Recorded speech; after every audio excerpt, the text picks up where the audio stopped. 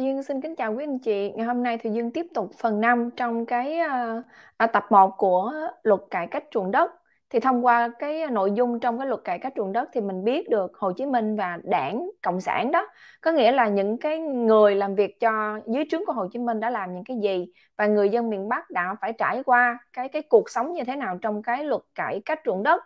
Có rất là nhiều bạn cho rằng là ngày hôm nay đó thì bác Hồ không liên quan gì hết đảng không liên quan gì hết cho những cái uh, cái cái sự xáo trộn cái, trong cái xã hội Việt Nam ngày hôm nay thì uh, qua cho, qua cái nội dung trong cái à, luật cải cách ruộng đất đó, tập 1 thì Thùy Dương muốn chứng minh rằng là Hồ Chí Minh và băng đảng của ông đã phạm những cái sai lầm uh, nghiêm trọng từ khi mà Hồ Chí Minh áp dụng cái luật cải cách ruộng đất uh, đối với đồng bào ở ở ngoài, uh, ngoài miền Bắc nha quý vị. Dạ, rồi Thùy Dương mời quý vị.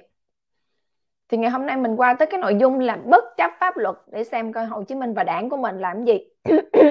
Xin lỗi quý vị thì giáo sư Ba Lan Ma Henley nói chuyện ở Bộ Tư pháp cho ta biết rằng ở bên Ba Lan đó, khi cách mạng thành công, các nhà chính trị bất chấp về pháp luật họ quan niệm rằng họ đủ tài năng để mà đảm nhận các cương vị lãnh đạo trong ngành tư pháp, để bó buộc tư pháp, phục vụ triệt để chính trị mà không điếm xỉa đến các nguyên tắc căn bản của pháp lý.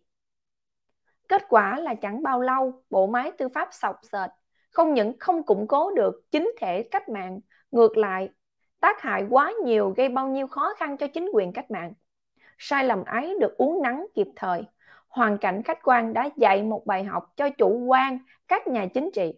Để mà lãnh đạo chuyên môn phải nhập trường học tập trước non 2 năm, sau 5 năm à, để qua pháp lý phục vụ chính trị và làm cách mạng.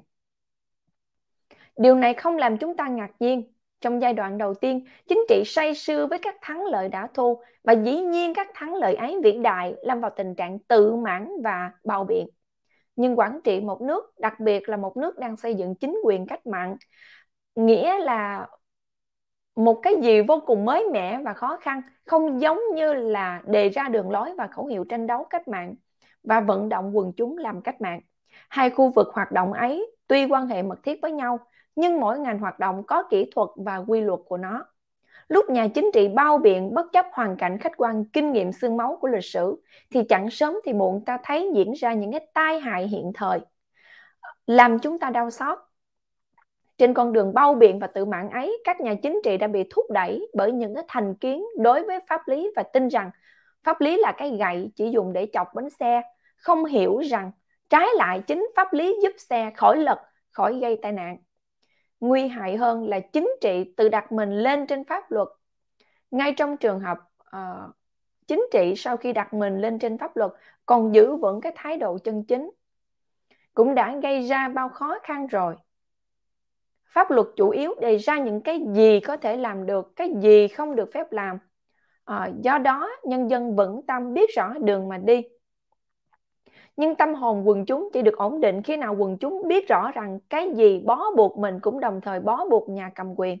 Trái lại, khi pháp luật chỉ gò bó quần chúng mà không gò bó nhà cầm quyền, thì nhà cầm quyền mỗi lúc có thể vẽ ra các đường mới mà quần chúng chưa từng biết. Cái này giống y chang như xã hội Việt Nam ngày hôm nay hả quý vị? Vì vậy, quần chúng hoang mang. Cái gì hôm qua làm được, ngày mai với sự độc đoán của nhà cầm quyền có thể bị coi là phi pháp hoang mang ấy lên tới cực độ khi tác dụng của sự thay đổi thái độ này của nhà cầm quyền, không những ảnh hưởng đến tương lai mà ảnh hưởng cả về quá khứ nữa. Đó là trường hợp nhà cầm quyền lúc tự đặt mình lên trên pháp luật, giữ thái độ chân chính đúng mực, huống hồ là khi nhà cầm quyền sử dụng quyền thế của mình một cách lộng quyền. Như trường chinh đã nhận định, quyền xử tử người một cách đơn giản như vậy trái với pháp luật, đó chỉ là một giải pháp chính trị mà thôi nếu mà các người sử dụng quyền ấy lại không sử dụng với tinh thần chính sách của lãnh đạo, sử dụng một cách lộng quyền thì kết quả thế nào? Hiện thời ta đã trông thấy rõ. Bất chấp chuyên môn, các nhà chính trị bất chấp pháp luật, nhưng nếu các vị ấy tranh thủ ý kiến của các nhà chuyên môn và cho phép các nhà chuyên môn đề đạt cái ý kiến thì các nhà chuyên môn cũng sẽ yêu cầu các nhà chính trị nên chú ý đến pháp luật và dùng pháp luật để mà phục vụ cho các bạn. Nhưng tiếc thay trong 10 năm vừa qua, ta thấy một tình trạng quái gở. Chính trị ám ảnh đầu óc chúng ta đến nỗi hai chữ lập trường làm ta mất ăn mất ngủ. Nếu được dùng một hình ảnh duy tâm, tôi ví lập trường như cái oan hồn ngày đêm theo đuổi kẻ nào đã hãm hại người chủ của nó. Có một điều lạ là các anh em công nông, các vị lãnh tụ không bao giờ nói đến lập trường trong sinh hoạt hàng ngày. Trái lại, các cán bộ và đảng viên tiểu tư sản không lo ngại gì bằng sự mất lập trường. Vì vậy, để nhớ đến nó, mở miệng ra là nêu lập trường rồi. Đó là tinh thần tự ti của một giai cấp mất khí thế. Quên rằng mình đứng trong hàng ngũ cách mạng. Dù sao ở Việt Nam chúng ta cũng đã xảy ra những cái sự việc như sau đây. Ta cần ghi nhớ để con cháu ta cười muôn thuở. Khi chọn một người vặn lái ô tô, ta không hỏi người ấy có bằng vặn lái và đã vặn lái bao năm. Ta chỉ hỏi có lập trường không? Cái từ vặn lái thì Dương không hiểu quý vị. Kết quả là từ hai năm nay, riêng trong thủ đô Hà Nội, hàng trăm tai nạn xảy ra do các người vận lái ô tô uh, có lập trường mà không nắm chuyên môn. Khi đưa tới bệnh viện một bệnh nhân cấp cứu, vấn đề mang ra thảo luận trước tiên là bệnh nhân thuộc thành phần giai cấp nào. Chữa cho địa chủ thì mất lập trường. Để nó chết mới chứng minh có lập trường giai cấp. Hiện tượng do bác sĩ Nguyễn Xuân Nguyên đưa ra, đọc khúc này mà rối luôn. Tại sao có những hiện tượng quái gở như vậy? Là vì chính trị chiếm đóng tất cả các khu vực trong nhận thức của chúng ta, làm chúng ta mất cả cái nhân đạo tối thiểu của con người, làm chúng ta khước từ các chân lý. Chân lý cho biết rằng chính trị không thể nào thay thế được cho chuyên môn, không làm được việc của chuyên môn. Nếu như vậy thì ít ra chính trị cũng hỏi ý của chuyên môn mới là phải. Nhưng không, chính trị nghi ngờ chuyên môn, không tin ở chuyên môn.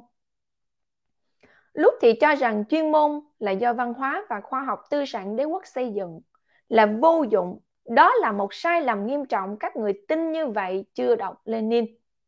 Lúc thì cho rằng các nhà chuyên môn không phải xuất hiện ở tầng lớp cơ bản, công hay là nông, thì không có đảm bảo về thái độ lưng chừng, lập trường thì lỏng lẻo. Dù chưa, dù là 10 năm họ đã bước chân vào đường cách mạng và chứng minh nhiệt tình của mình đối với cái sự nghiệp giải phóng dân tộc kiến thiết quốc gia. Đọc những cái nội dung này rất là hay. Anh chị thấy không? Chính trị với cái chuyên môn nó không có liên quan. Vậy mà ngày hôm nay dưới cái chế độ của Việt Cộng nó đặt chính trị vào trong cái môi trường y tế nó đặt chính trị vào cái môi trường giáo dục làm sao anh có thể mà đưa những cái vấn đề tư tưởng hồ này kia nọ vô cái môi trường giáo dục đưa vào cái môi trường uh, y tế được? Vấn về kinh doanh nữa. Nó đưa vô hết trơn cho nên trớt hết trơn chị nó đưa vô tới đâu là hư tới đó. Cho nên trong lòng thì dương có một cái sự phẫn nộ dễ sợ luôn. Theo ý tôi đây là một vấn đề then chốt. Các anh em trí thức kháng chiến thường phàn nàn rằng đảng lao động đã thiếu tín nhiệm họ họ đau khổ mà nhận thấy rằng mặc dầu họ đã trải qua bao nhiêu thử thách chịu đựng bao nhiêu hy sinh trải qua bao nhiêu gian nguy đảng vẫn chưa tin họ. Nào họ có yêu sách gì quá đáng đâu? Họ có đòi làm bộ trưởng hay đại sứ đâu? Không. Đại đa số các anh em trí thức nói chung không mơ ước các cương vị các uh, công tác lộng lẫy đâu. Họ vui lòng nhường chỗ cho các nhà chính trị các đảng viên. Họ chỉ thiết tha đòi hỏi được mang khả năng chuyên môn và kinh nghiệm của họ ra để mà phục vụ cho nhân dân mà thôi.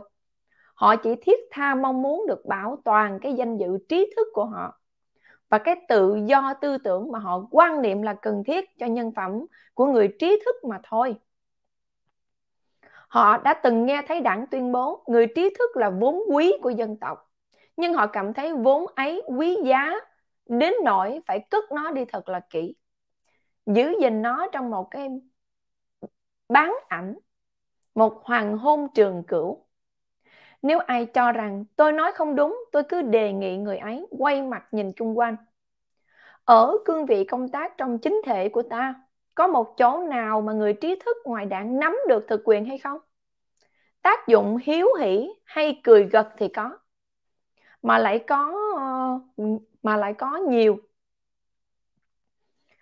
Nhưng ngay ở các cương vị ấy, ngoài cái vai trò hiếu hỷ, cười gật người trí thức có một cái trách nhiệm gì không? Có quyền nói gì làm gì không? Quần chúng đã biết và miễn tôi trả lời. Chính trị chèn ép chuyên môn như thế nào? Xua đuổi người trí thức ra ngoài con đường cách mạng ra sao? Lịch sử kháng chiến đã cho ta kinh nghiệm đau đớn. Năm 1949, phong trào tư pháp liên khu ba tan vỡ vì chính quyền quan niệm tư pháp phải thuộc sự điều khiển của mình. Năm 1951, phong trào quân y, dân y liên khu 4 sụp đổ vì các chính trị viên đưa vào các bệnh viện đã đàn áp chuyên môn, thúc đẩy các bác sĩ có công với cách mạng và kháng chiến. Phải gạt nước mắt mà rời bỏ kháng chiến, đó không phải là chủ trương của đảng lao động, nhưng có một điều làm ta suy nghĩ là sao mãi bây giờ, sau 10 năm đảng mới nghiên cứu một chính sách cho trí thức. Điều ấy chứng tỏ rằng từ khi cách mạng thành công thì ta chưa đánh giá đúng người trí thức chưa đặt vấn đề trí thức. Do đó làm thế nào khai thác được tất cả khả năng của người trí thức để họ mang chuyên môn ra để mà phục vụ cho nhân dân? Trên đây tôi nói về người trí thức từ chiến khu trở về đối với người trí thức vẫn ở trong thủ đô, ta thấy sự thiếu tín nhiệm ấy lại còn trầm trọng hơn nữa Bao lần ta nghe tiếng chua cay của các anh em ấy phàn nàn bị coi như kẻ thù. Mặc dầu các anh em vì yêu nước đã khắc phục mọi lo sợ tuyên truyền của địch gây ra và ở lại với chúng ta. Ta để cho cán bộ hộ khẩu xâm phạm đến danh dự của các anh em. Ta không tìm cách nào sửa chữa sai lầm ta đã phạm đối với anh em. Ở các công sở, tình trạng chèn ép của chính trị đối với chuyên môn đã đưa đến cái danh từ bi đát làm cho ta đau lòng. Họ lưu, họ kháng, không đoàn kết được các anh em. Ta lại còn có thái độ úp mở nhung nhằn ta tưởng như vậy là thượng sách, thậm chí ta lại còn nghi ngờ các anh em. Ta không hiểu rằng làm như vậy ta bất công với các anh em. Ta không tôn trọng lời đã hứa qua cái chính sách tiếp quản và cương lĩnh mặt trận, ta đẩy các anh em xa rời ta. Ta vô tình ném xuống bể tiêu cực cái vốn chuyên môn của các anh em trí thức trong thủ đô. Đó là những nguyên nhân trực tiếp. Đầu sâu hơn nữa, ta thấy rằng sở dĩ những hiện tượng như ta vừa phân tích trên đây, chẳng qua chỉ là vì sự lãnh đạo của ta thiếu dân chủ xa lìa quần chúng. Nó lý luận quá mệt không quý vị ha. Chính thể ta thiếu dân chủ như thế nào? Ta đã từng biết vai trò của các vị bộ và thứ trưởng ngoài đảng như thế nào. Các vị đó làm được những gì trong hội đồng chính phủ? À, trong các ngành chuyên môn và các vị ấy phụ trách ta không nên đi quá sâu.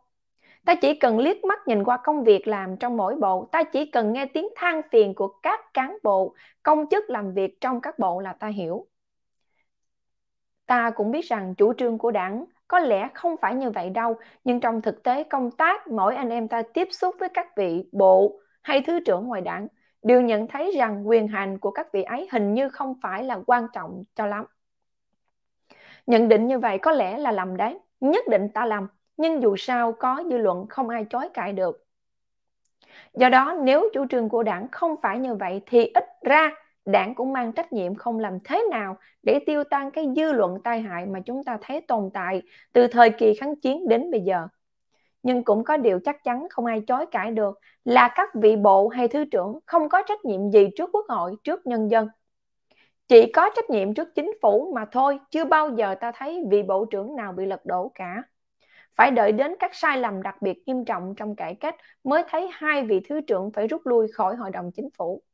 Các hiện tượng ấy chứng tỏ rằng chính phủ ta chưa thực hiện được dân chủ trong khi lập hội đồng chính phủ. Vì các bộ hay thứ trưởng đều được cử hay bị trút ngoài sự tham gia trực tiếp hay gián tiếp của quần chúng. Tình trạng của Quốc hội rõ hơn nữa, 10 năm Quốc hội đã thành lập các vị đại biểu Quốc hội còn phản ảnh được cái ý nguyện của quần chúng hay là không?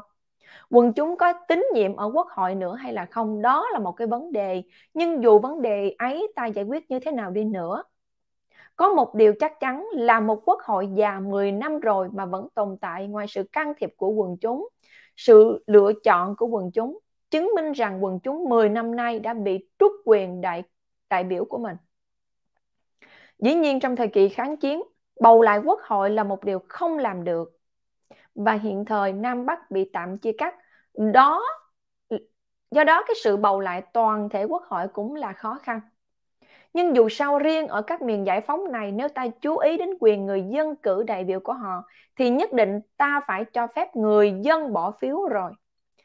Từ khi hòa bình trở lại, hai năm đã qua, mãi bây giờ trước phong trào quần chúng đòi thực hiện dân chủ, ta mới nghĩ đến quyền bỏ phiếu người dân bổ sung qua quốc hội. Nào có thế thôi đâu. Ngay các quốc hội ta đang có hiện thời, ta có thực hiện dân chủ với nó không? Chắc chắn là không. Thỉnh thoảng ta mới họp quốc hội và trong các buổi họp đó, ta chỉ thấy chính phủ đưa ra các báo cáo để mà quốc hội nghiên cứu. Xây dựng hay các chính sách để quốc hội tán thành và bổ khuyết. Quyền lập pháp của quốc hội ở đâu? Quyền đề ra đường lối, chủ trương trong nội trị, ngoại giao, quyền nêu trách nhiệm của chính phủ và các bộ quyền lựa chọn nhân viên trong hội đồng chính phủ, bấy nhiêu quyền quốc hội có được hưởng dụng hay là không? Dư luận quần chúng quan niệm rằng quốc hội chỉ có quyền thông qua các chính sách mà thôi. Còn như các sắc lệnh hay đạo luật thì thường thường quyền thông qua ấy chỉ thuộc ban thường trực của quốc hội. Nếu quốc hội là tổ chức cao nhất của quần chúng, đại diện cho quần chúng thì ta phải khách quan nhận thấy rằng với vai trò vô cùng yếu ớt của quốc hội hiện thời, quyền dân chủ của quần chúng không thực hiện được. Nói đến mặt trận thì tình hình cũng tương tự. Mặt trận hiện thời là tổ chức quần chúng có lẽ sát tình hình quần chúng nhiều nhất. Nhưng ta có để nó đóng vai trò của nó không?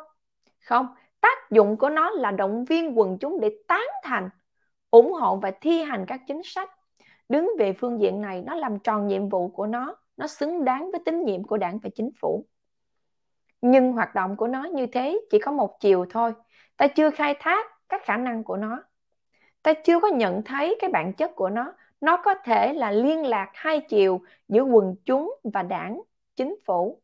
Một mặt như nó thường làm, nó động viên quần chúng để thực hiện các chủ trương của đảng và chính phủ. Nhưng mặt khác đó nó có thể là cơ quan phản ảnh lên đảng và chính phủ các ý kiến thắc mắc nguyện vọng của quần chúng góp phần xây dựng các chính sách nói lên tiếng nói của quần chúng. Cung cấp tài liệu nguồn gốc ở quần chúng tích cực giúp đỡ cấp lãnh đạo tránh khỏi chủ quan thắt chặt liên lạc giữa cấp lãnh đạo và quần chúng.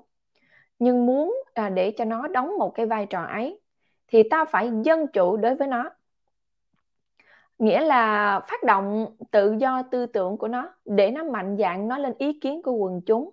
Dù là các ý kiến trái ngược với nhận định của cấp lãnh đạo, nhưng từ trước tới nay ta không làm như vậy. Ta thấy khó chịu khi nó thỏ thẻ, chỉ thỏ thẻ thôi. Những lời làm ta một phút chốc tỉnh giấc mộng chủ quan mà ta trong cấp lãnh đạo đang say sưa. Vì vậy ta chỉ thường cho phép nó, chỉ khuyến khích nó phụ họa ta. Ta tán đồng ta với thái độ của đứa con khen khi mẹ nó hát.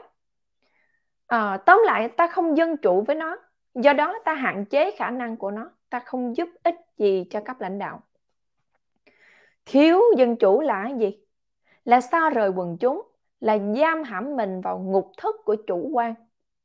Tại sao một chính thể cách mạng lại có thể phạm sai lầm nghiêm trọng như vậy được?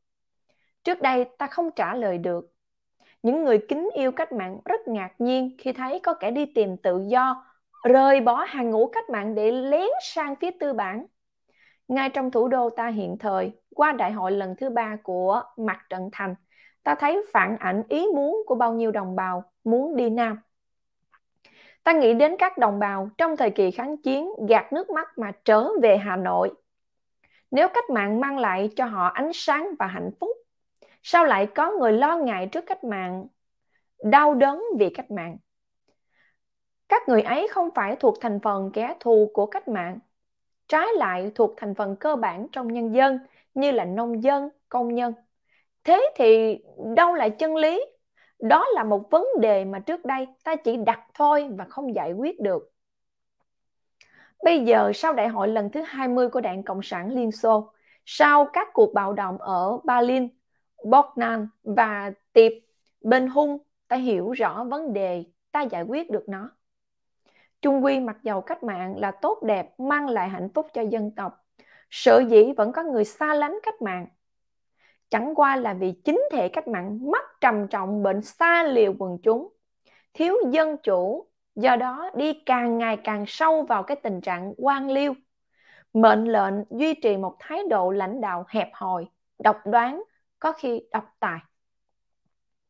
Thái độ một chiều không muốn, không cho phép ai nói cái gì trái ngược ít nhiều với ý kiến nhận định thành kiến của mình. Mình tự phụ, tự hào mình có độc quyền tìm thấy và giữ gìn chân lý. Đó là trật tự, cái, cái, cái tật tự cao, tự đại của nhà cách mạng. Ta bay bổng lên trời xanh của ảo tưởng, ta chỉ tin ở ta. Trong tư tưởng, ta không khinh quần chúng, nhưng trong hành động, quả thật con mắt khách quan, nhận thấy ta bất chấp quần chúng. Thậm chí khi ta nghe thấy một tiếng nào từ quần chúng nói lên rằng ta nhầm, ta làm như thế này mới là phải, lập tức thét ngay đó là tiếng của địch. Sở dĩ cái quan điểm bạn thù của ta nó mơ hồ lắm. Và ở đâu ta cũng trông thấy địch chẳng qua là vì ta quá tự phụ. Ta sùng bái, ta quá đáng mà thôi. Bây giờ ta biết rõ là nếu bệnh ấy phổ biến trong hàng ngũ cách mạng hiện thời, thì trách nhiệm chính là Stalin phải chịu. Vì tự cao, tự đại, tự phụ, tự mãn, Stalin không cho phép ai dân chủ với mình.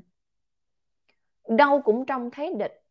Kết quả thế nào ta đã biết, khẩu hiệu nêu lên thét lên gào lên để đề cao cảnh giác và lợi dụng tình hình ấy ta biết Peria đã làm những gì phạm tội như thế nào. Nếu không có quyết nghị lần thứ 20 của Đảng Cộng sản Liên Xô, nếu không có những sai lầm cực kỳ tai hại trong cải cách, ta chưa mở mắt được, ta sẽ còn thấy bao nhiêu máu oan chảy thành suối, thành sông. Bao nhiêu người kính yêu cách mạng mà vẫn đau xót rời bỏ cách mạng. Tuy phải trả một cái giá quá cao, nhưng bây giờ ta biết rõ nguyên do của các đau khổ của ta ta thiếu dân chủ. 3. Phương hướng sửa chữa các sai lầm. Qua lịch sử tranh đấu của quần chúng 2.000 năm nay, ta thấy cái gì mà nhân bản của loài người đòi hỏi thiết tha nhất? Đó là một đời sống vật chất tương đối đầy đủ, êm ấm. Đó là một đời sống tinh thần tương đối ổn định, có đảm bảo và tự do. Hạnh phúc của loài người xây dựng trên cơ sở dân sinh và dân quyền Tôi muốn nhấn mạnh ở đây về vấn đề dân quyền. Ta được biết hai từ hai thế kỷ nay, chủ yếu trong vấn đề dân quyền là vấn đề dân chủ. Nghĩa là quyền của người dân làm chủ trên đất nước, đồng thời là quyền của con người được sống theo các nhu cầu thiết yếu và chính đáng của nhân bản. Từ cuộc cách mạng tư sản Hoa Kỳ cuối thế kỷ 18, cách mạng tư sản Pháp năm 1789 tới cuộc cách mạng xã hội chủ nghĩa của Nga, quần chúng nổi dậy mang xương máu để giành kỳ được cái chế độ dân chủ. Sau cuộc đại chiến lần thứ hai, Hiến chương Liên Hiệp Quốc đúc kết những thành quả của các phong trào lịch sử tranh đấu cho dân chủ và đặt các nước văn minh trước trách nhiệm của họ để thực hiện và đảm bảo các nguyên tắc dân chủ đối với các nước uh, tư bản ta không ngạc nhiên thấy cái chế độ dân chủ thực hiện với những thiếu sót quan trọng nhưng ta có quyền ngạc nhiên khi ta thấy các thiếu sót ấy cũng xuất hiện trong các nước đã hoàn thành cuộc cách mạng dân chủ nhân dân và xã hội chủ nghĩa. Đại hội lần thứ sáu của Hội Quốc tế các luật gia dân chủ họp trong tháng 5 vừa rồi tại uh, ờ, Brussels đã lấy làm tiếc mà nhận thấy rằng trong tất cả các nước dù tư bản hay là xã hội chủ nghĩa, mặc dầu các hiến pháp, các bộ luật tuyên bố trịnh trọng, tôn trọng thực hiện, bảo đảm thực hiện các nguyên tắc dân chủ. Tuy nhiên, các nguyên tắc này vẫn bị dày xéo. Vì vậy, trong tất cả các nước quần chúng tranh đấu kịch liệt, ở trong nước ta thì sao? Trong bản tuyên ngôn độc lập, trong cái hiến pháp cũng như trong các sắc lệnh, đạo luật, nguyên tắc dân chủ đã được ban bố nhưng qua phong trào phát huy dân chủ mà chính phủ chủ trương qua Đại hội Nhân dân Thủ đô lần thứ ba. Các đại hội mặt trận trung ương, mặt trận thành qua thông cáo của hội nghị lần thứ 10 của Trung ương Đảng Lao động của chính phủ vân vân. Nhân dân nhận thấy rằng và đảng cũng như các chính phủ xác nhận rằng ta thiếu sót về dân chủ khá nhiều. Vì các thiếu sót ấy ta phạm các sai lầm nghiêm trọng trong cải cách ruộng đất như tôi đã trình bày trên đây. Nguyên nhân sâu sắc của các sai lầm ấy ta có thể quy kết được. Sở dĩ đời sống tinh thần của ta không được ổn định, lúc nào ta cũng nơm nớp lo sợ các hành động lộng quyền của nhà đương cục là vì ta thiếu một chế độ pháp trị phân minh. Không đề ra cái nghĩa vụ và quyền lợi của mọi người. Đồng thời à, cả của cấp lãnh đạo nữa. Sở dĩ cấp lãnh đạo có thể phạm được các sai lầm nghiêm trọng trong cải cách ruộng đất, tổn thất cho xương máu, mồ hôi, nước mắt của đồng bào, cho uy tín của đảng và chính phủ là vì người dân không có quyền, không có phương tiện nói lên ý kiến của mình, tham gia xây dựng các chính sách của chính phủ. Do đó đó, cái phương hướng sửa chữa các sai lầm là một chế độ pháp trị chân chính, một chế độ dân chủ thực sự. Một chế độ pháp trị chân chính nghĩa là cái gì? Ở đây chưa phải là lúc và chọn để tôi trình bày ý kiến về vấn đề pháp trị ta sẽ có dịp khác ở đây tôi chỉ muốn trình bày quý vị một nhận xét.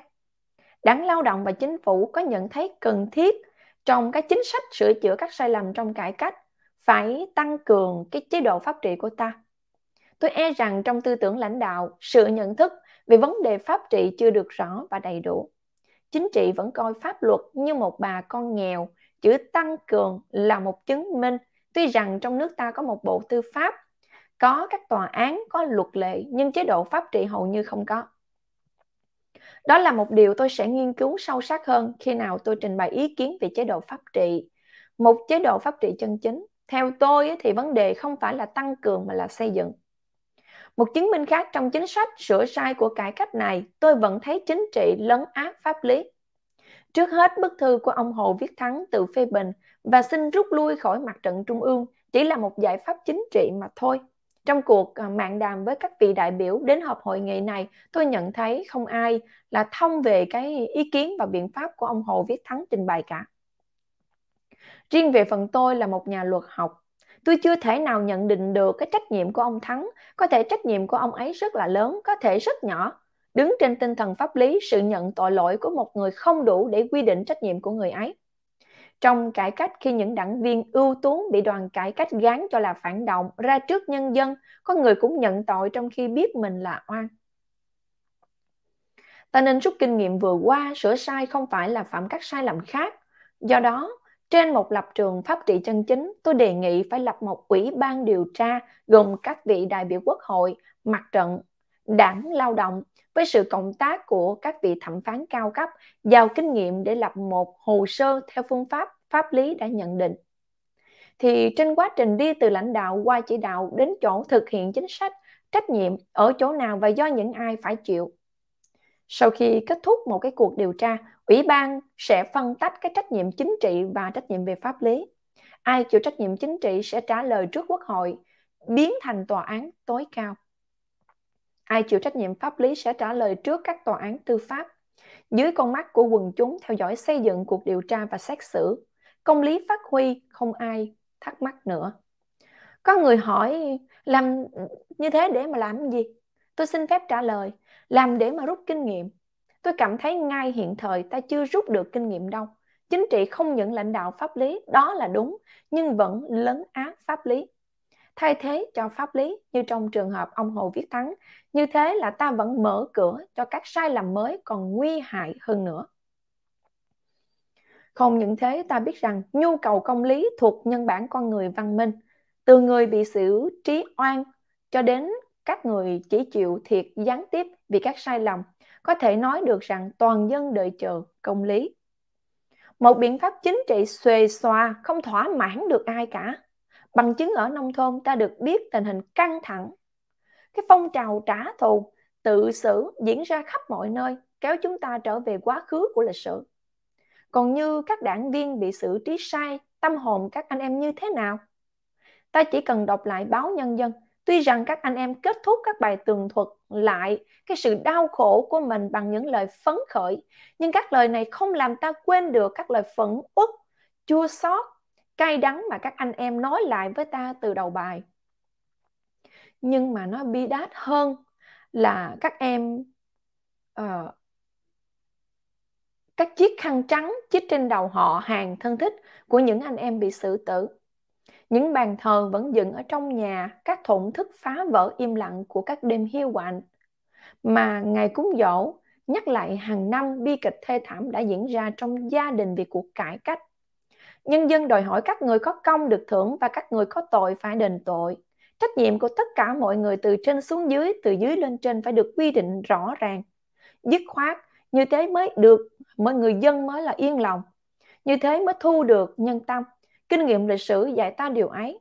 Trong cái chính sách sửa sửa chữa sai lầm, ta không thể quên được bài học lịch sử, quần chúng im lặng chờ đợi công lý. Chúng ta thiết tha mong ước ở chính trị một nhận định đúng về vai trò của pháp luật phục vụ cách mạng. Kinh nghiệm đau đớn vừa qua bó buộc ta phải xây dựng lại quan điểm địch trên cơ sở pháp lý và pháp trị. Các sai lầm nghiêm trọng ta đã phạm bắt nguồn ở một quan điểm chính trị về địch. Quan điểm ấy linh động, biện chứng quá nên ta không biết phân tách địch và ta, do đó ta đánh cả ta nữa. Muốn tránh các sai lầm hôm qua, đừng tái diễn ngày mai, ta cần xác định theo hình luật thế nào là địch.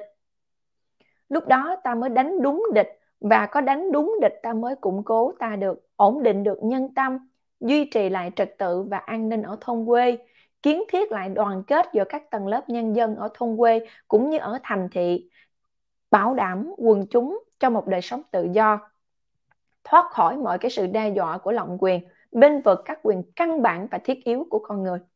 Nói tóm lại, nếu chính trị giác ngộ, vui lòng tôn trọng pháp lý, thiết lập một chế độ pháp trị trong đó chính trị vẫn lãnh đạo pháp lý nhưng đồng thời nêu thật cao cái gương phục tùng pháp lý và pháp trị thì nhất định chính trị khôi phục được uy tín và được quần chúng nhiệt liệt ủng hộ. Một ừ, chế độ thực sự dân chủ. Thế nào là một chế độ thực sự dân chủ? Đó là một chế độ trong đó người dân được làm chủ trên đất nước không những trong hiến pháp mà cả trong thực tế nữa. Đây không phải là lúc là chỗ mà ta đi sâu vào vấn đề, ta chỉ cần nhận thấy rằng trong giai đoạn hiện thời quần chúng có đòi hỏi cái gì quá đáng đâu thì chỉ yêu cầu có một điều thôi là được đàm thoại với các cấp lãnh đạo, được đề đạt lên cấp lãnh đạo ý kiến về các chính sách cho cấp lãnh đạo xây dựng. Các vị lãnh tụ đã bao lần khen dân ta tốt mà dân ta tốt thật, bằng chứng là điều tôi vừa nhắc lại đây. Trong khi quần chúng có quyền đòi hỏi ở một cái chính thể cách mạng rất nhiều, nhân dân ta chỉ có một yêu cầu mà ai cũng phải nhận. Tại sao nhân dân chỉ có cái yêu cầu nhũng nhặn ấy mà thôi? Là vì nhân dân thông cảm với các cấp lãnh đạo phải đương đầu với bao khó khăn.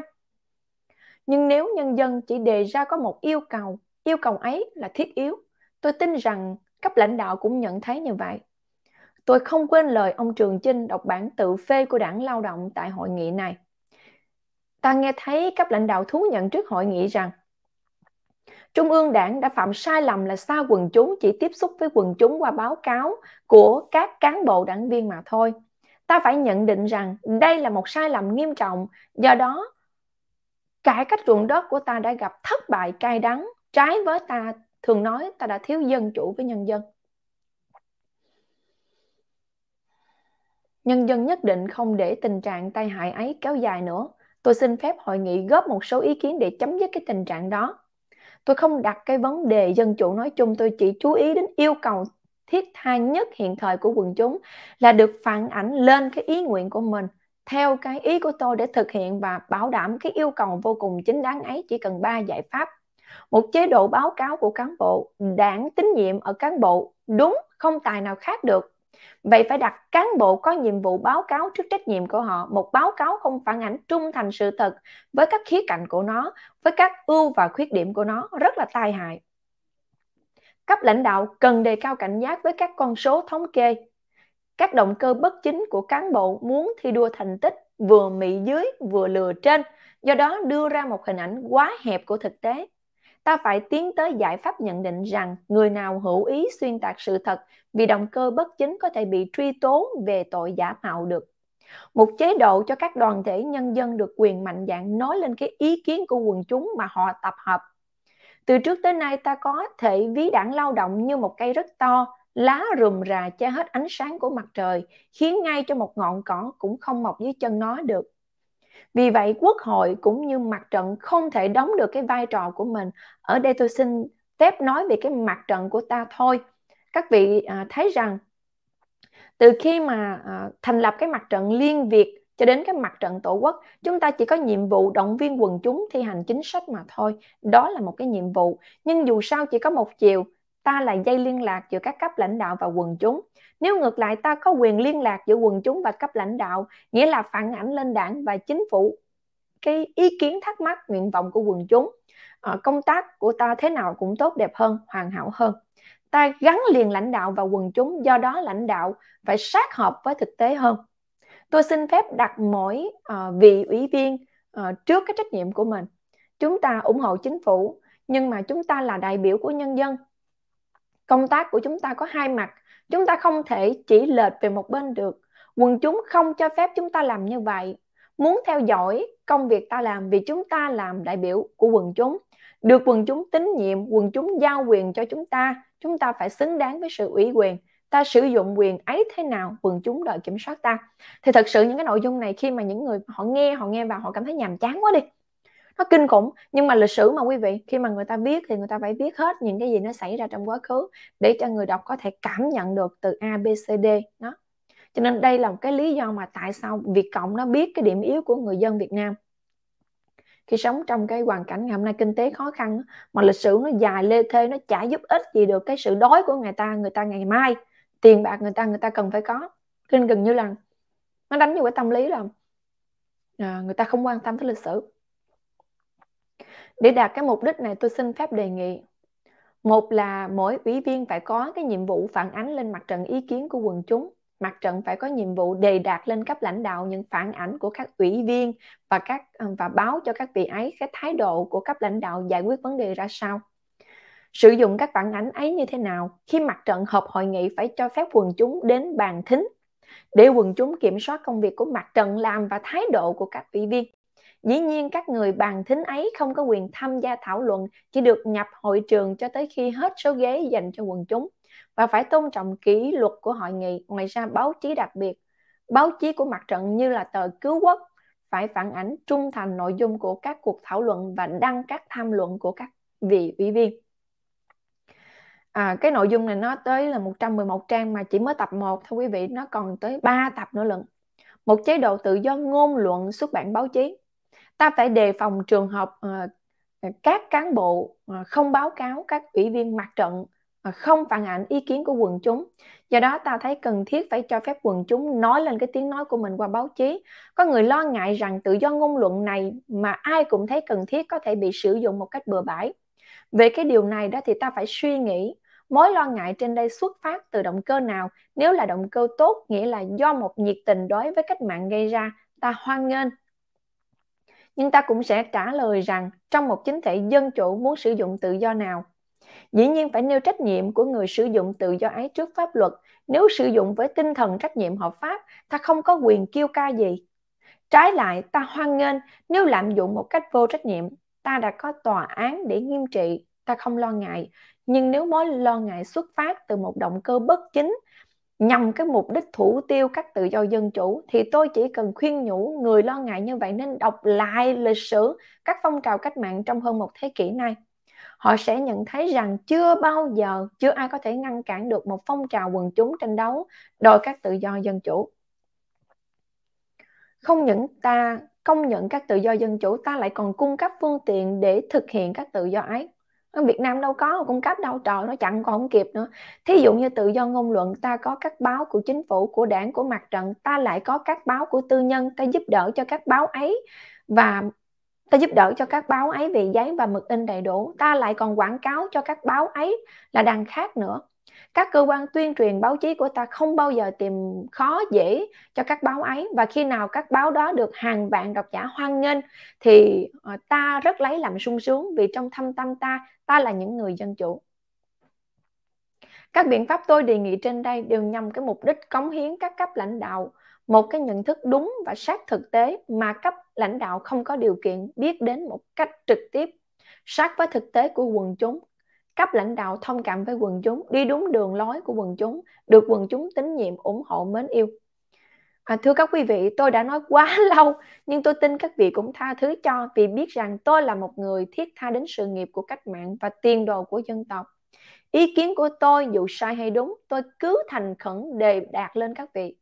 Gọi là để góp phần vào hội nghị, một phần nhỏ mọn nhưng trang chứa một niềm hy vọng và tin tưởng vô biên ở tương lai của đất nước Hà Nội ngày 30 tháng 10 năm 1956. Tôi nói thiệt với quý vị, tôi đọc hồi nãy giờ mà tôi nói thiệt với anh chị, tôi hiểu được cái cảm giác của người nghe nó ra làm sao luôn á. À, nó chán cỡ nào luôn á. Nhưng mà thật sự ra anh chị, người ta đóng góp. Và người ta nói rất là gì anh chị hợp lý. Nhưng mà quý vị nếu mà cái sự đóng góp này mà nó ghi nhận thì đâu có chuyện gì để nói. Ngày hôm nay là sẽ không có một thùy dương ngồi đây để, để làm um, truyền thông đâu. Không có đâu nó không có ghi nhận người ta đóng góp hay không hay nhưng mà những cái sự đóng góp của người ta thì nó sẽ gì anh chị nó sẽ triệt tiêu hoặc là nó làm cho cái chế độ nó không còn quyền lực nữa cho nên nó đâu có ghi nhận đâu cho nên cái hậu quả nó kéo dài mãi đến ngày hôm nay luôn cái ngày ấy rồi cũng sẽ phải tới. Wow, cái ngày ấy là ngày gì? Năm 1954, tôi chỉ là một đứa bé 5 tuổi, tay sách nách mang lẻo đẻo theo bố mẹ xuống tàu há mồm vào Nam để mà tránh nạn Cộng sản. Khi ấy cuộc cải cách ruộng đất long trời lỡ đất làm chết oan hàng mấy trăm ngàn nông dân miền Bắc đang đi vào giai đoạn quyết liệt nhất. Sau đó qua sách báo, phim ảnh, những tài liệu biên khảo thì tôi được biết ít nhiều về cái sự biến kinh người cái nỗi oan khuất ám ảnh cả một thế hệ những cái tên nhằm ám chỉ một giai đoạn đen tối nhất của lịch sử Việt Nam cận đại. Phần lớn những tài liệu về cải cách ruộng đất mà tôi đọc được đều do những người ở phía bên đối địch với chính quyền cộng sản hay những tác giả ngoại quốc biên soạn. Đọc thì có đọc, tin thì cũng có tin, nhưng tận thâm tâm tôi vẫn không nghĩ rằng con người dù là con người cộng sản lại có thể đối xử tàn ác với nhau đến như thế vì phía những người có trách nhiệm hay trong cuộc sống hay liên quan đến cải cách ruộng đất từ bao nhiêu năm nay vẫn giữ một sự im lặng đáng sợ vì những sự thật mà rất nhiều người khao khát muốn biết của lịch sử những sự thật mà sớm muộn gì cũng sẽ phải được phơi bày. Mới đây nhất tôi đã được uh, đọc tác phẩm ba người khác nói về cải cách ruộng đất. Dưới dạng tiểu thuyết của tô hoài một nhà văn nổi tiếng từ thời tiền chiến với Dế mèn phiêu lưu ký năm 1941, O chuột 1942, Văn thề 1943, Nhà nghèo 1944 mà không một học trò nào của miền Nam trước năm 1975 không biết tới. Sau cách mạng tháng 8 năm 1945, ông theo Việt Minh rồi gia nhập đảng Cộng sản, giữ nhiều chức vụ trong Hà Nội nhà văn Việt Nam Cộng sản. Ông cũng đã tham gia cuộc cải cách ruộng đất với tư cách đội viên một đội cải cách. Tác phẩm ba người khác theo lời tác giả ông viết từ 13 năm trước nhưng không được phép in. Cuối năm 2006, một nhà xuất bản ở Đà Nẵng bằng lòng cho ra đời cái quyển này. Ngay sau khi được phát hành, quyển sách đã gây nên một cái tiếng vang đáng kể. Trong nước, sự ra đời của quyển sách này, quyển sách này được bình chọn là một trong 10 sự kiện văn hóa của năm 2006. Hội Nhà văn Việt Nam đã phải cho tổ chức ngay một cuộc tọa đàm trong hội để thảo luận về nội dung của quyển sách. Với tôi, quyển Ba người khác của nhà văn Tô Hoài mang cái giá trị một bản cáo trạng đanh thép về cuộc cải cách ruộng đất đẫm máu 50 năm trước của nông thôn miền Bắc. Vì nó được viết bởi chính người trong cuộc đã từng được hưởng bao ân sủng của chế độ.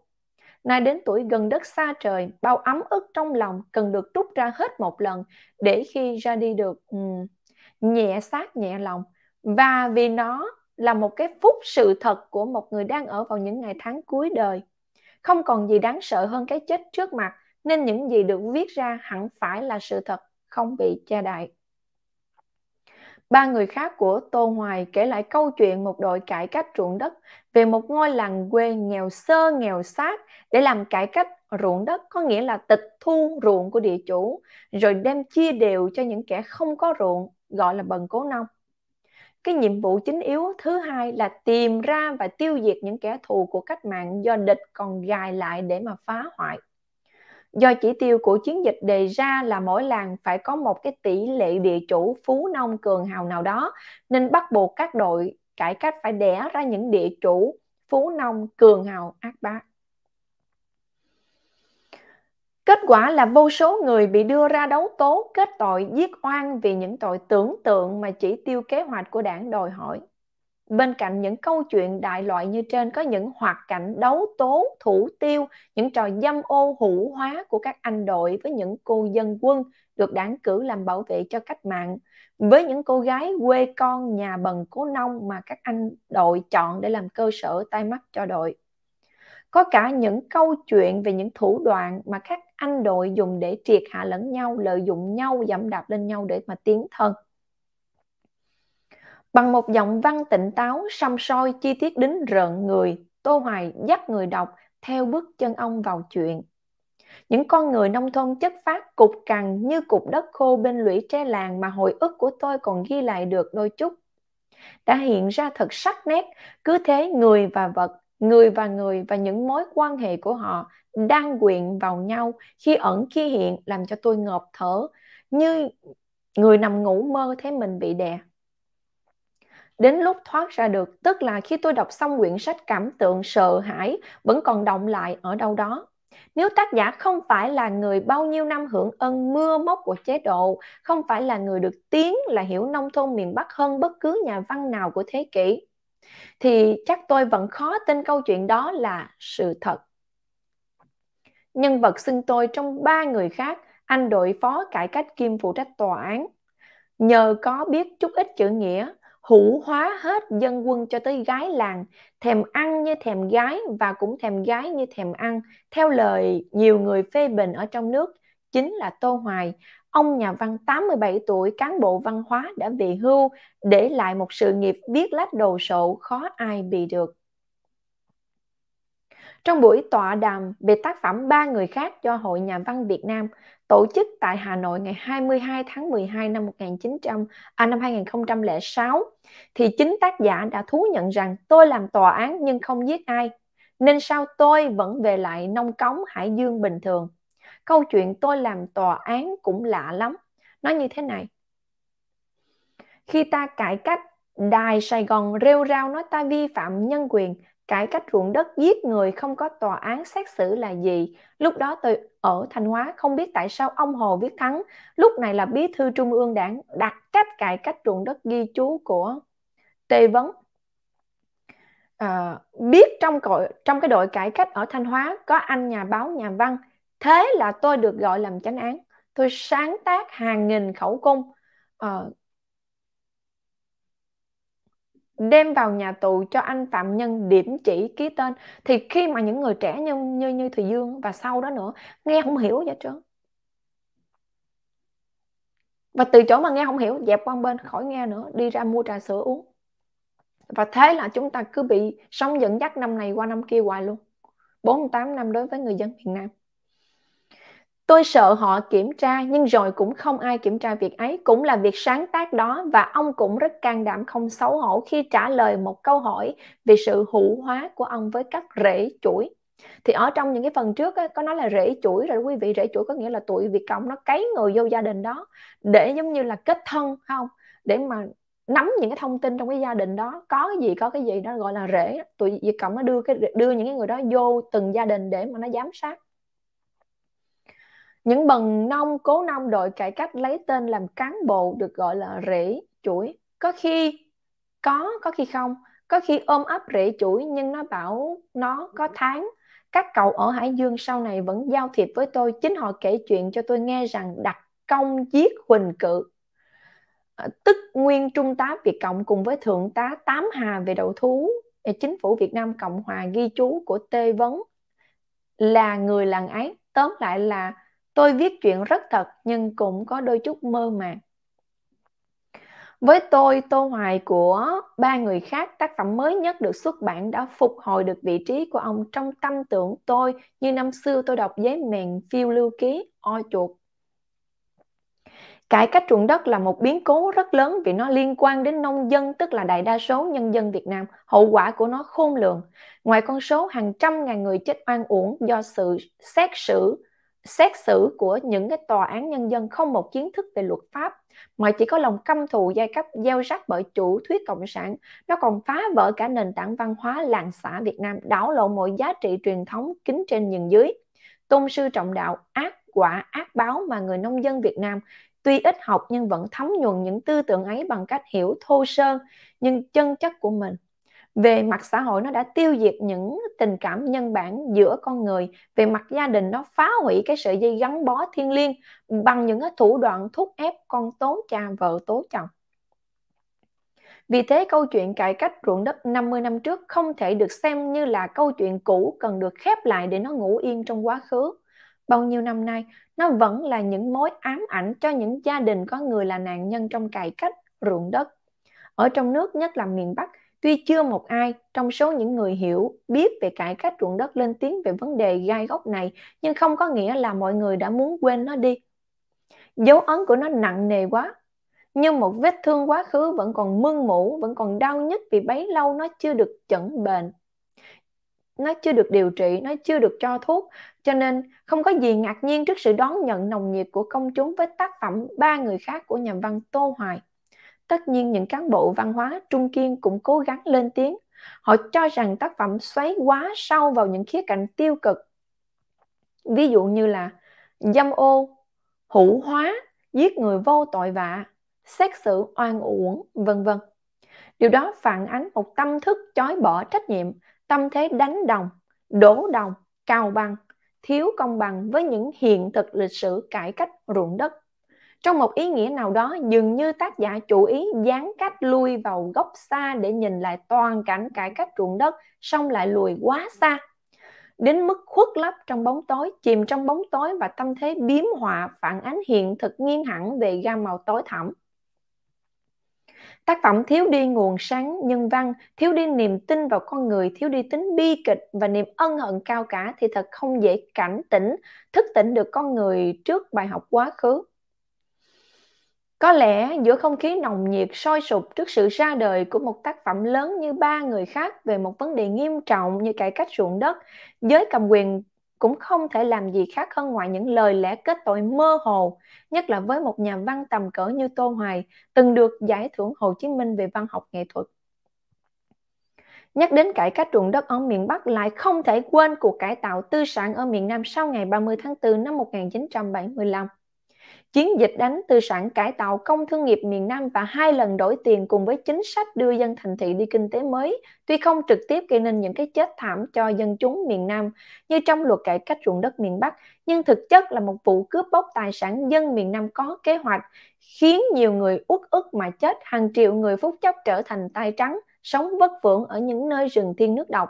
Gia đình tan nát và hàng triệu người khác liều mình bỏ nước ra đi như 50 năm trước tôi cùng hơn một triệu đồng bào miền Bắc di cư để không phải là nạn nhân của chính sách hà khắc trong đó có cải cách ruộng đất. Con số những thuyền nhân, bộ nhân bỏ mạng trên đường tìm tự do không phải là nhỏ. Tuy không bao giờ thống kê được con số chính xác, nhưng chắc chắn là lớn hơn con số người chết vì cải cách ruộng đất 50 năm trước ở miền Bắc rất nhiều lần. Và tất nhiên như những nạn nhân của cải cách ruộng đất, thân nhân còn sống sót của thuyền nhân, bộ nhân bỏ mình năm xưa hay những nạn nhân trực tiếp còn sống sót sau nhiều lần bị hải tặc cướp bóc, hãm hiếp, hẳn vẫn không thể nguôi ngoai được cái nỗi đau còn âm ỉ, một vết thương vẫn còn mưng mủ, thậm chí còn đau đớn hơn cả vết thương cải cách ruộng đất trên thân thể đất nước. Vì vậy phải làm sao để thức tỉnh con người trước bài học quá khứ? Nên khép lại tất cả những vết thương còn mở miệng, quên đi một nỗi đau buồn, hướng về một ngày mai tươi sáng, không có những bóng đen ghê khiếp, một thời ám ảnh chắc. Nhưng lấy gì để bảo đảm rằng những thảm cảnh quá khứ sẽ không bao giờ có cơ hội lặp lại? Nếu người ta không dám nhìn thẳng vào những lỗi lầm, không dám đối diện thực sự với hậu quả của những lỗi lầm đó bằng cách soi rọi bằng cách soi rọi chúng dưới nhiều góc cạnh khác nhau để tìm ra nguồn gốc chính thủ phạm chính của những bi kịch ấy. Những soi động ở trong nước về quyển sách ba người khác liên quan đến cuộc cải cách ruộng đất tuy rất là đáng khích lệ trong một bầu không khí vẫn còn ngột ngạt, khó thở quen thuộc ở một nước cộng sản, nhưng mà cho đến nay, những tiếng nói phê bình cứng cỏi cũng chỉ dừng lại ở chỗ tán dương sự can đảm đáng nể của một ông già hơn 80 tuổi về cái tính chân thật và sự đổm lược cần thiết của người cầm bút của những chứng nhân lịch sử đối với thời đại mình và các thế hệ tương lai họ không hoặc là họ chưa dám đi xa hơn là chỉ đích danh tên thủ phạm kẻ sát nhân tàn ác tội phạm chính chịu trách nhiệm về những gì xảy ra hơn 50 năm trước. Tội danh này nếu xử cho thật công bằng còn nặng hơn gấp ngàn lần những gì Saddam đã gây cho nhân dân Iraq. Nhưng, như một người có máu mặt ở trong nước đã tiên đoán sự kiện này là một dấu chỉ cho thấy tảng băng đang từ từ vỡ ra.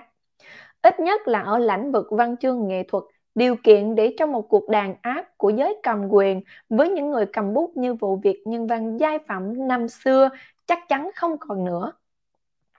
Vì ngày nay kẻ bị áp bức còn có nhiều vũ khí khác ngoài cây viết, cho nên sớm muộn với những bài học quá khứ như cải cách ruộng đất, như cải tạo công thương nghiệp miền Nam sẽ đến lúc có kẻ có tội bị trị đích danh. Tôi hy vọng đến lúc ấy viên cựu đội phó phụ trách tòa án Tô Hoài vẫn còn sống và đủ minh mẫn để sáng tác một bản khẩu cung cho phạm nhân ký vào. Chỉ khác với lần này, ông thực sự hài lòng. Vì ông chỉ phải ghi lại những gì đã xảy ra, không thêm không bớt. Và tôi cũng mong ông viết lại đoạn kết tiểu thuyết ba người khác để cả đền tội chỉ không chỉ có anh đội trưởng đội cải cách huỳnh cự vốn chỉ là tay sai thừa hành lệnh cấp trên. Cuối cùng, sau khi đọc xong ba người khác của Tô Hoài, tôi tin hoàn toàn những gì trước đó tôi được biết về cải cách ruộng đất qua sách báo, phim ảnh miền Nam. Chỉ cần nói thêm một chút, hình ảnh cải cách ruộng đất trong tác phẩm của Tô Hoài gây khiếp hơn nhiều. Thì ở đây thì Dương sẽ chia sẻ một số cái tấm hình à, để à, để quý vị có thể coi ha.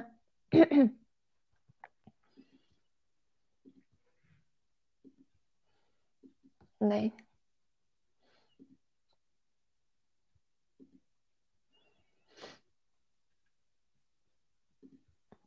Đó, tòa án nhân dân nè quý vị. Tiếp theo. Mà đấu tố nè. Cái anh cái anh bị cột dây anh rất là hiền ha, gục mặt, còn cái người này rất là hung hăng nè. Địa chủ bị đấu tố đó. Đó, ở trên thì có hình Hồ Chí Minh. Có ông nội nào đây? Trẻ thơ cũng bị buộc đi dự tòa tòa dự tòa án nhân dân. Rồi. Thì ờ, nó đã kết thúc cái cái tập 1 dài 112 trang. Ờ, à, thì Dương sẽ cố gắng sắp xếp thời gian để mà đọc tiếp những cái tập còn lại. Thì Dương hy vọng rằng là ờ, quý anh chị sẽ cảm thấy là cái nội dung những cái nội dung mà Thùy Dương chia sẻ đó nó có cái sự hữu ích ha. Dạ, cũng như Thùy Dương nói rồi, để mà Thùy Dương có một cái sự hiểu về những cái gì đã xảy ra trong quá khứ thì Thùy Dương phải đọc, đọc online, đọc như thế này nè hoặc là đọc sách để mà Thùy Dương hiểu để mình có thể có một cái cái nhìn chắc chắn rằng Hồ Chí Minh và Đảng Cộng sản chính là nguyên nhân của mọi vấn đề trong cái xã hội Việt Nam ngày hôm nay. Mình không có còn phải mơ hồ trong cái việc à cái này đúng, cái này sai, cái này không cái này không sai nữa, sai nữa đúng, không có chuyện đó. Đúng là đúng, sai là sai. Hồ Chí Minh đã sai từ lúc mà Hồ Chí Minh đã áp dụng cái luật cải cách ruộng đất ha, ờ, lên đồng bào miền Bắc và đến ngày hôm nay thì người dân vẫn rất là khổ. Đó thì ờ, nói chung là cái đời sống kinh tế Việt Nam ngày hôm nay khi mà tụi Việt Cộng nó đưa chính trị vào trong mọi lĩnh vực hết thì nó ban hết. Rồi cảm ơn quý vị thật nhiều chúc quý vị thật nhiều sức khỏe và bình an ha. Nhớ đừng quên nhấn dùm cho thị Dương cái like. Xin chào và hẹn gặp lại quý vị.